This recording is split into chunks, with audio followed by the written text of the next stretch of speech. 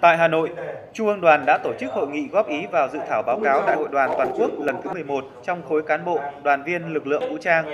Các đại biểu đã tham gia góp ý kiến vào các vấn đề như đánh giá kết quả tổ chức triển khai thực hiện phong trào tuổi trẻ xung kích bảo vệ Tổ quốc, giữ gìn an ninh chính trị, trật tự an toàn xã hội, hạn chế,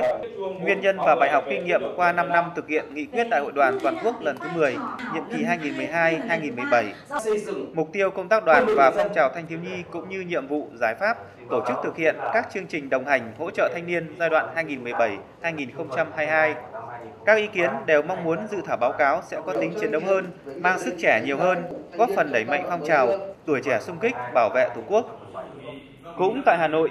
Trung đoàn tổ chức hội nghị để cán bộ phụ trách thiếu nhi góp ý xây dựng dự thảo báo cáo Đại hội đoàn toàn quốc lần thứ 11. Các đại biểu đã phân tích, đánh giá kết quả đạt được, những hạn chế khó khăn vướng mắc trong công tác phụ trách đội,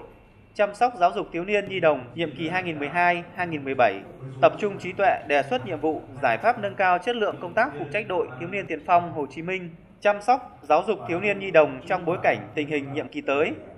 Đặc biệt, đóng góp các ý kiến và giải pháp nhằm xác định các trọng tâm phong trào lớn xuyên suốt nhiệm kỳ